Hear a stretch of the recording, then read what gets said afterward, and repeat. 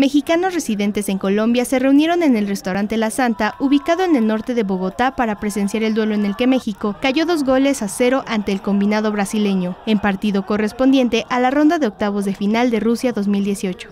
El encuentro de la colonia mexicana, realizado por la Embajada de México en Colombia, reunió al personal diplomático en Bogotá, encabezados por la embajadora Blanca Alcalá, familiares y amigos colombianos. Para los comentaristas deportivos locales, México demostró que es un equipo con trabajo táctico, con garra, pero le faltó precisión y efectividad en el área contraria.